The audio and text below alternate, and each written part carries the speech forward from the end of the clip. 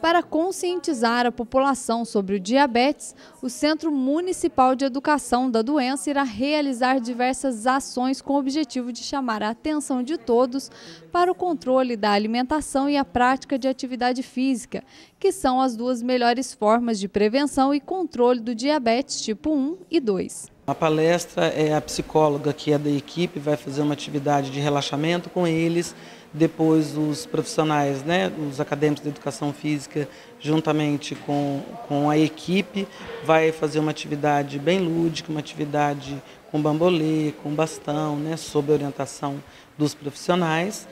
As ações serão realizadas no Clube de Campo Fernão Dias e serão restritas às pessoas que têm a doença. Ao todo, mais de 2.800 pouso-alegrenses frequentam o centro e são convidados a participar do evento para se informar melhor sobre a doença.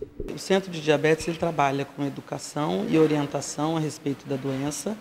E o dia 14 comemorou-se o Dia Mundial do Diabetes, onde a equipe que sempre faz um evento de campanha de detecção na praça.